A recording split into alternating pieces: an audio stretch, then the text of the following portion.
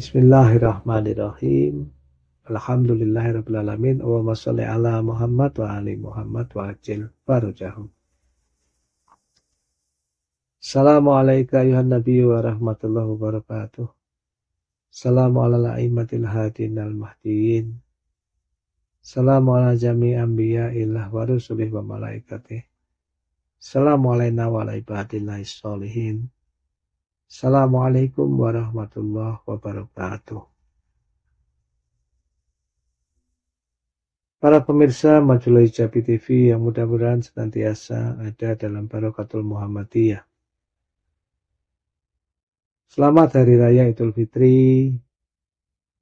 Al-Fakir mohon dimaafkan lahir dan batin. Dan mudah-mudahan keberkahan dan semua kebahagiaan terlimpah pada para pemirsa semua beserta keluarga. Memaafkan ini sungguh sangat penting sekali. Kita masih dalam pembahasan mengenai Allahumma adkhil ala ahli kuburi surur. Ya Allah, masukkanlah dalam para ahli kubur itu kebahagiaan.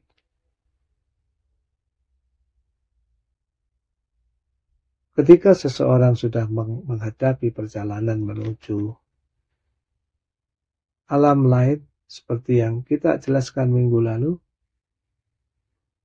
Fama ya'mal mithqala dzarratin khairan yarah wa may ya'mal mithqala dzarratin syarran yarah. Barang siapa berbuat kebaikan sebesar zarah, saya ia akan melihatnya. Barang dan barang siapa berbuat keburukan sebesar zarah, maka ia akan melihatnya. Salah satu yang akan dilihat dan dirasakan langsung dampaknya dalam perjalanan menuju alam lain adalah bila kita pernah menyakiti orang lain dan kita belum dimaafkan bila kita memiliki hutang pada orang lain dan belum diikhlaskan. Ini ternyata akan berdampak sangat luar biasa. Sehinggalah saya membuka dengan satu kisah tentang sakaratul maut. Kisah ini saya ambil dari saya pesal kumi menuju akhirat yang diterbitkan oleh Cahaya Diriwayatkan bahwa kanjeng Nabi Shallallahu Alaihi Wasallam menghadiri kematian seorang pemuda. Lalu beliau menuntunnya untuk mengucapkan syahadah. Tidak ada Tuhan kecuali Allah. La ilaha illallah. Namun, mulut pemuda itu terkunci. Maksudnya tidak bisa mengikutinya. Dan setiap kali beliau Shallallahu Alaihi Wasallam mengulangi talqin, pemuda itu tetap tidak bisa mengikutinya. Para pemirsa Majulah Hijabi TV yang mudah-mudahan senantiasa ada dalam Barokatul Muhammadiyah. Ini sungguh merupakan suatu hal yang menakjubkan. Karena yang mentalkin ini adalah insan yang paling mulia kekasih Allah kanjeng Nabi Shallallahu Alaihi Wasallam. Mari kita lanjutkan kisah ini yang ada di bukunya Alama Abbas Al-Kumi menuju akhirat halaman 5. Lalu kepada seorang perempuan yang tengah duduk di sisi kepala pemuda itu Kanjeng Nabi Shallallahu Alaihi menanyakan tentang ibu pemuda tersebut.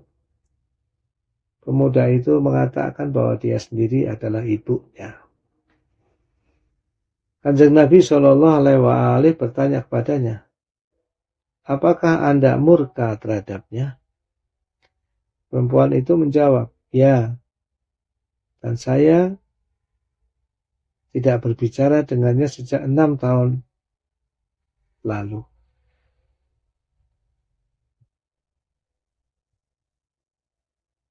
Maka kanjeng Nabi Shallallahu Alaihi Wasallam bersabda, ridhoilah ia.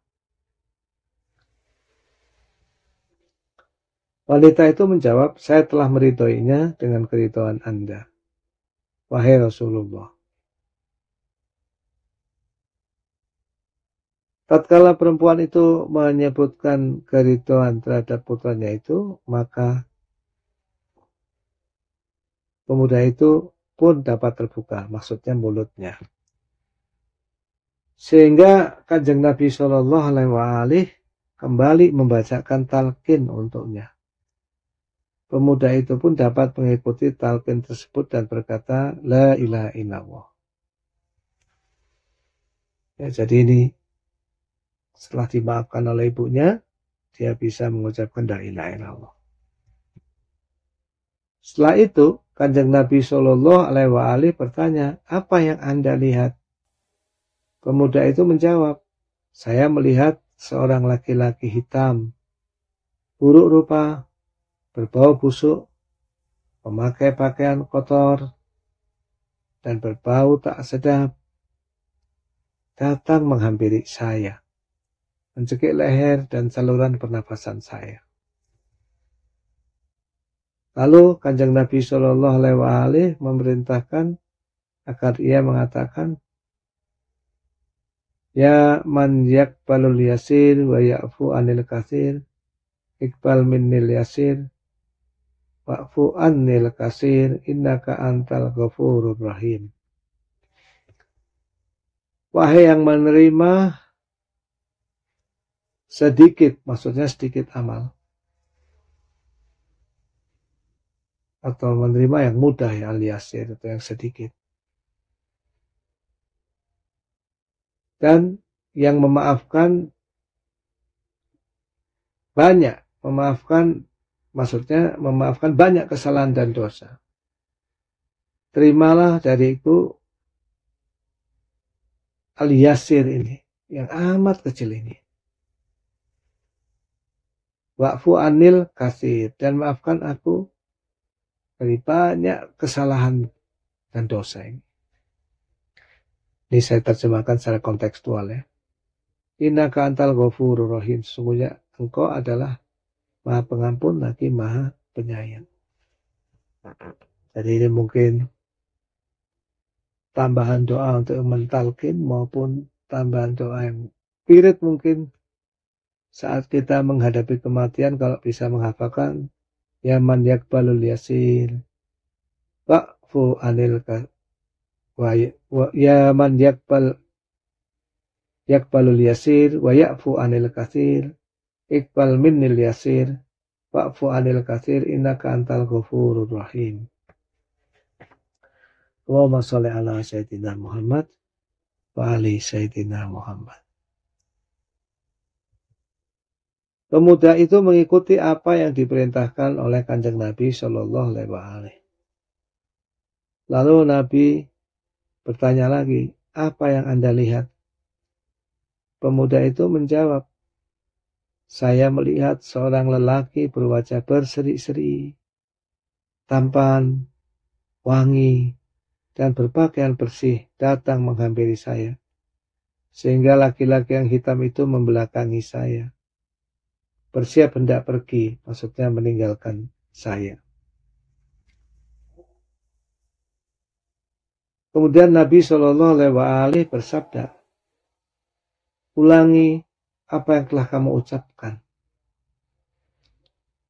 Maka pemuda itu mengulangi yang telah dibacakan sebelumnya.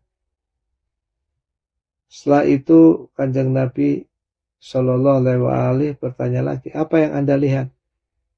Pemuda itu menjawab, laki-laki kulit hitam itu telah pergi dan tidak meninggalkan jejak. Sekarang hanya ada seorang lelaki kulit putih di sisiku. Maka dalam keadaan demikianlah itu pemuda itu meninggal. Inna lillahi wa inna ilaihi roji'un. Para pemirsa Majulai Jabi TV yang mudah-mudahan senantiasa ada dalam Barokatul Muhammadiyah. Kisah ini sungguh sangat menarik. Jadi bisa jadi kita kelak pada saat sakaratul maut. Itu mengalami kesulitan untuk talqin na'udzubillah min dalik mengalami kesulitan untuk membaca dua kalimat syahadat atau membaca la ilaha illallah karena ada seseorang yang belum memaafkan kita.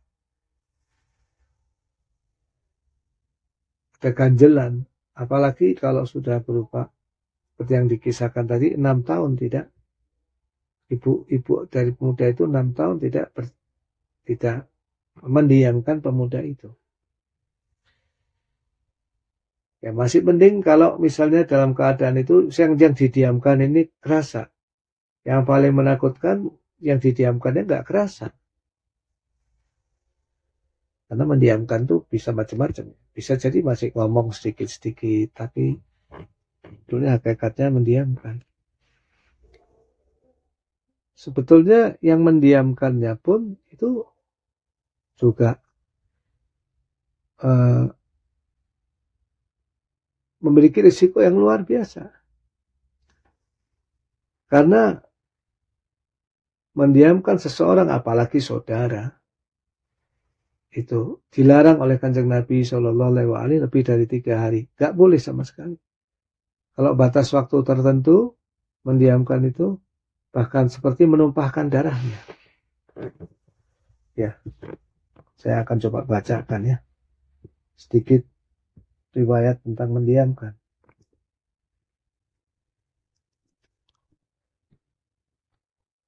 Ini masih dalam konteks penjelasan kita Allahumma athilalah lil kuburi surur ya. Kalau kita ingin memasukkan kebahagiaan ke seluruh ahli kubur, tentu kita harus siap juga memaafkan semua orang yang menyakiti kita. Dan kita juga mohon selalu berharap dimaafkan oleh semua orang. Karena kalau tidak doa kita lo matil ala ahlil kuburi surut itu hanya perkataan yang dikatakan mulut saja. Tapi tidak selaras dengan perbuatan. Dan doa yang tidak selaras dengan perbuatan itu setahu saya tidak akan diterima. Saya akan bacakan ya dari buku Risa Hari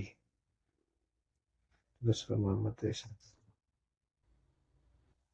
buku Islam Agama Cinta Nurul Huda Muhammad Risa Hari jadi dari kanjeng Nabi Shallallahu Alaihi Wasallam hadis ke 125 ini sumbernya dari Al-Kahfi juz 2 halaman 344 hadis kedua dari Hisam bin Hakam dari Imam Sotik alaihissalam dan ada sumber-sumber lainnya. Ada juga di Miskatul Anwar, Biharul Anwar, Sahih Muslim, Mustad bin Hambal, keduanya dari Abu Hurairah dan Kanzul Umal. Jadi ini mutaf apa namanya uh, dua masa besar Alusunah dan Alubait ada hadis ini. Kanjeng Nabi Shallallahu Alaihi Wasallam diriwayatkan bersabda, La hijrata fauqa salat. Tidak boleh mendiamkan lebih dari tiga hari. Kemudian di riwayat lain, ini nomor 126 yang bisa dibaca juga dalam Al-Amali, ada Syekh Tusi dari Abu Hurairah dan banyak sekali ini sumber-sumbernya. Kanjul Umal juga tadi Abu Hurairah di Bial Anwar juga Sahih Muslim juga jadi ini ada di dua masa besar juga. Kanjeng Nabi Shallallahu Alaihi Wasallam diriwayatkan bersabda la yahillu li muslimin ayah juro akhohu fauqa salasati ayamin. Tidak diperbolehkan bagi seorang muslim untuk mendiamkan saudaranya lebih dari tiga hari. Wasabiku yasbiku ilal jannah. Dan yang mendahului mengajak berbicara, dialah yang mendahului masuk surga. Allahumma sholli ala Muhammad wa ali Muhammad wajil farajahum. Yang ada kalau saling mendiamkan gengsi menekut dulu. Kalau kita pengen masuk surga lebih dulu, ya buang rasa gengsi. Mumpung ini pas suasana lebaran, ucapkanlah mohon maaf lahir batin. Dimohon maaf lahir batin itu sebagai salah satu perwujudan konsistensi dari doa Allahumma adkhil ala ahli kuburi surur.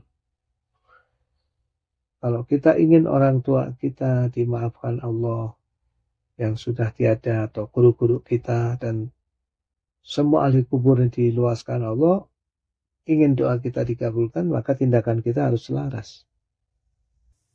Allahumma sholli ala Muhammad Dalam kisah tadi itu si ibu mendiamkan untuk enam tahun. Luar biasa ya. Coba kita lihat rasanya masih ada riwayat lain, saya cari kan. Kemudian ada. Jadi ini ada larangan yang lebih dahsyat ya. Dari Kanzul Umal hadis ke 24789 24789 di kitab Mizanul Hikmah jilid 4 halaman 405 Kanjeng Nabi Shallallahu alaihi wasallam diriwayatkan bersabda Hajrul muslimi akhahu kasafki damih. Seorang muslim yang tidak bertegur sapa dengan saudaranya sama dengan menumpahkan darahnya. Nauzubillah Jadi kita bisa bayangkan hakikatnya sama dengan menumpahkan darahnya walaupun bukan darah fisik. Dan salah satunya bisa kita lihat ya. Tadi dalam kisah itu bagaimana kengerian yang dihadapi di sakaratul maut. Apalagi kalau belum dimaafkan. Apa yang akan terjadi? Nah, jadi ini adalah lesson pertama dari kisah sakaratul maut yang tadi kita sebutkan.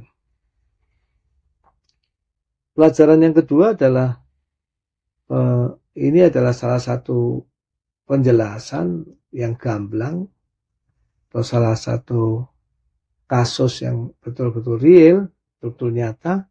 Apa yang kita bahas di dua pertemuan yang lalu mengenai tajasumul akmal dan mengenai dibukanya hijab dalam surat Al-Mu'minun ayat 99 100 menurut penjelasan dari tafsir Nurul Quran ini pada saat mau mening sakaratul maut sudah dibuka hijab. Sesuai dengan surat Qaf ayat 22 lakot kunta fi ghaflatin min hadha fakasafna angka aka fabasarukal yauma hadid pandangannya menjadi terang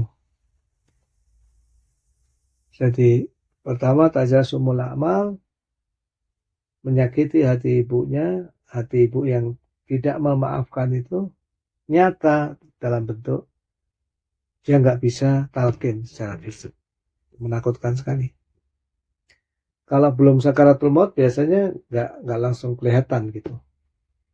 Ibunya ridho atau tidak, istrinya ridho atau tidak ya, nggak kerasa. Tapi pada saat sakaratul maut itu mewujud dirasakan langsung.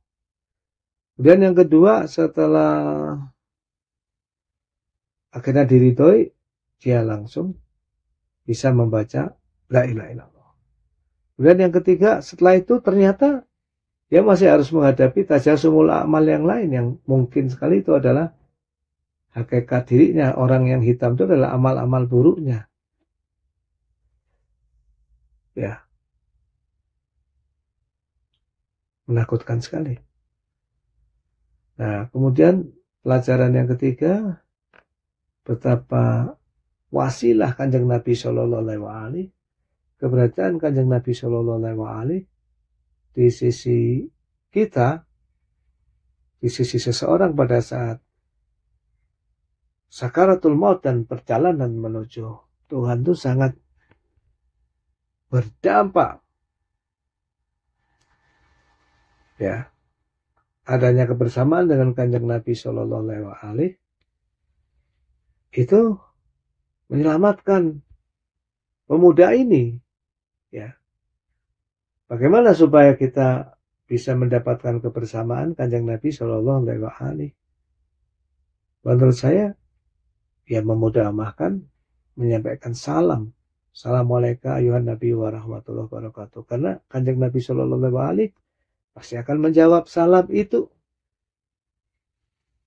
Assalamualaikum hadinal mahdiyin. Ini juga pada seluruh turunan kanjeng Nabi Shallallahu Alaihi Wasallam, para pemimpin yang suci. Salatullah salamullah alaihim. Dari Imam Ali hingga Imam Zaman.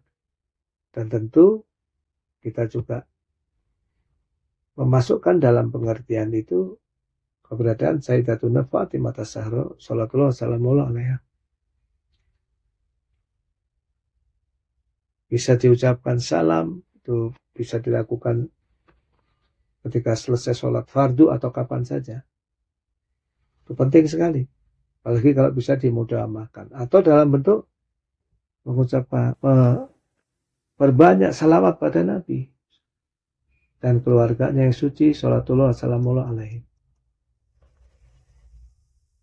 sehingga setiap sering kali setiap saat seseorang sering kali ada dalam keadaan kebersamaan secara hakiki dengan kanjeng Nabi Shallallahu Alaihi dan keluarga yang suci Shallallahu Alaihi Karena sering menyebut-nyebut, ya, karena sering rindu padanya, karena sering menyampaikan salam.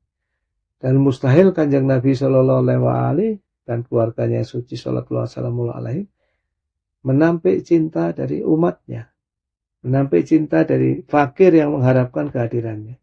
Maka insya Allah mereka salatullah salamun alaihim hadir di sakaratul maut. Orang-orang yang senantiasa menyampaikan salam dan bersalawat kepada mereka. Nah, kemudian pelajaran yang keempat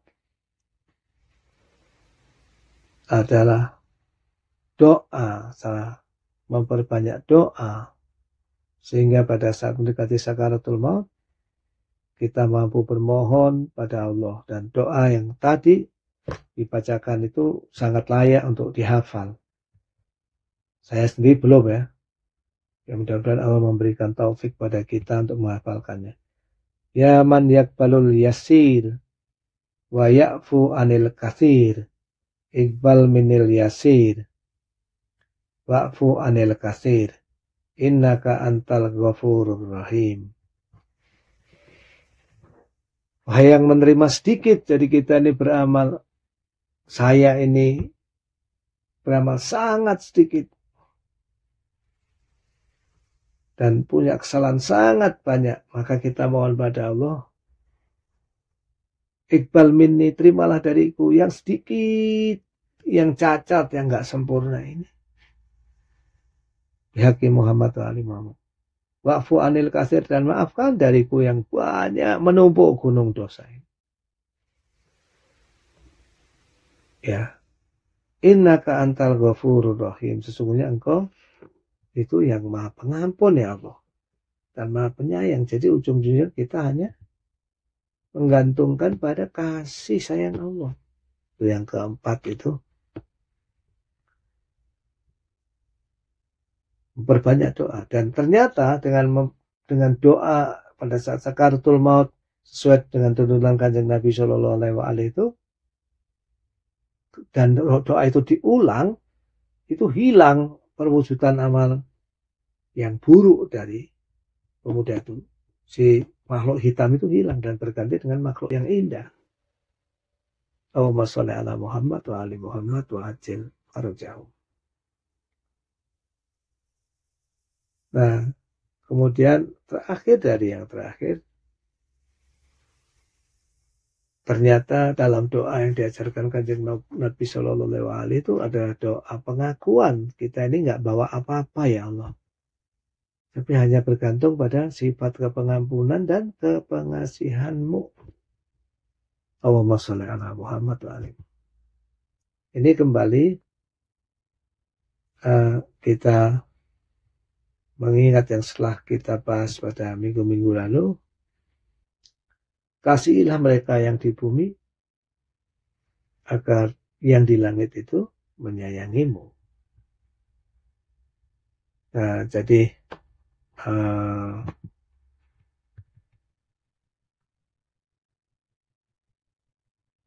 Indah kantal ghafurur rahim kita betul-betul di ujung yang menyelamatkan kita melalui perantaraan pemaafan dari seluruh saudara kita melalui perantaraan kasih sayang kanjeng Nabi Shallallahu Alaihi dan keluarganya yang suci Shallallahu Alaihi dan bermohon taufik pada Allah agar mampu melafazkan zikir dan doa pada saat perjalanan menuju sakaratul maut ini menuju kematian pada saat tabir dibuka itu dengan melafazkan doa yang salah satunya yang tadi sudah kita ulang. Nah last but not least itu ujung-ujungnya kita hanya bisa selamat hanya ilah marohimarabiyahnya dan kasih sayang maka kita kembali dengan apa yang kita bahas beberapa kali ini irhamu manfil art yarhamak yarhamukum manfis sama. Sayangilah orang-orang yang ada di bumi, maka yang di langit akan menyayangi kamu sekalian. Hadis Tirmizi 1847 menurut salah satu nomor ya. Allahumma sholli ala Muhammad wa ali Muhammad. Mudah-mudahan melalui kajian singkat ini lebih jelas bagi kita dimensi-dimensi doa Allah Umma adkhil ala ahli kubur surur. Kita baru di baris pertama dari doa pada sholat fardu bulan Ramadan ini. Sekali lagi, mohon maafkan saya, maafkan kami semua pengurus ijabi, maafkan keluarga kami semua, dan mari kita saling memaafkan. Dan itu sungguh merupakan salah satu kunci kita bisa memasukkan kebahagiaan kepada seluruh ahli kubur dan memasukkan kebahagiaan pada seluruh saudara kita dan diri kita sendiri yang suatu saat juga akan menjadi ahli kubur. Mohon maaf lahir dan batin. Marilah kita tutup majelis yang sangat mulia ini dengan mengirimkan sebaik-baik pahala dari majelis ini kepada seluruh orang yang kita cintai yang telah kita sebutkan tadi Nabi Allah Muhammad Shallallahu Alaihi Wasallam dan keluarganya yang suci dan leluhurnya dan para nabi, para wali, para siddiqin, para ulama al-mukhlisin, al-mukhlasin bi Muhammadin wa ali tahirin para guru kita terkhusus Allah yarhamhumah Ustaz Jalal beserta Bunda mudah-mudahan Allah meluaskan kubur mereka berdua. Habibna Husin Al-Habsi Habibna Skaf Al-Jufri Habibna Aib Asakaf Habibna Rusdi Alaidrus dan guru-guru kita yang lain. Juga pada kedua orang tua kita masing-masing baik yang telah mendahului kita maupun yang masih ada bersama kita juga andai tolan kita orang-orang yang kita sayangi dan seluruh pecinta Nabi dan keluarganya salamullah alaihim. Mudah-mudahan melewati majelis ini juga yang sakit disembuhkan Allah, yang berhutang ditunaikan hutangnya oleh Allah, yang kesulitan dipermudah kesulitannya oleh Allah. Dan kita semua diberi taufik untuk taat dan senantiasa bersalawat dan bertambah kecintaan kita kepada kanjeng Nabi Shallallahu Alaihi Wasallam dan keluarganya yang suci salamullah alaihim dan seluruh kaum mukminin radhiyallahu anhum. Allahumma sholli ala Muhammadin wa ali Muhammad fil awalin wa sholli ala Muhammadin wa ali Muhammad fil akhirin wa sholli ala Muhammadin wa ali Muhammad fil mala'il a'la wa sholli ala Muhammadin wa ali Muhammad fil mursalin. Allahumma ati Muhammadan al wasilata wa syarafa wa darajatal kabirah. Allahumma inni amantu bi Muhammadin wa lam ara fala tahrimni yaumal qiyamati ru'yata warzuqni suhbata wa tawaffani ala millati waskini min haudi masraban rawiyan sa'ihun hani'an. Innaka ala kulli syai'in qadir. Allahumma inni amantu bi Muhammadin walam arah. Farifni fil jinani wajhah Allahumma parlih ruha Muhammadin. Ani tahiyatan kasiratan wa salamah Allahumma adkhil ala ahlil kuburi surur, Allahumma ahni kula fakir, Allahumma shfi kula ja'i, Allahumma ksu kula urian. Allahumma qtidaina kula madin, Allahumma farij an kulli makrub, Allahumma rudda kula gharib, Allahumma fuka kula asir, Allahumma aslih kula fasid min umuril muslimin, Allahumma shfi kula marid, Allahumma sudda fakrana bihinak, Allahumma ghayyir su'a khalina bi husni halik Allahumma qdi anna taina wahnina minal fakar. Innaka ala kulli syai'in qadir. Rabbana bolamna anfusana fa ilam takfir lana. Wa tarhamna lanakunana minal khasirin. La ilaha illa anta subhanaka inni kuntu minas zalimin. Rabbana hablana min aswajina wa dhurriyyatin qurrata ayun wa ja'alna lil muttaqina imama. Rabbana atina fid dunya hasanah wa fil akhirati hasanah wa qina azabannar. Waf'al bi ahlu Allahumma rizukna syafa'atal Husain. Yaumal wurud wa thabit lana qadama sidqin indaka ma'al Husain wa ashabil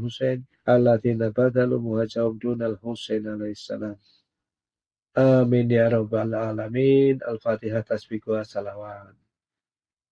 Allahumma salli ala Muhammad. Wa ma taufiqi illa billah alaihi tawakkaltu wa ilahi unib. Wassalamualaikum warahmatullahi wabarakatuh.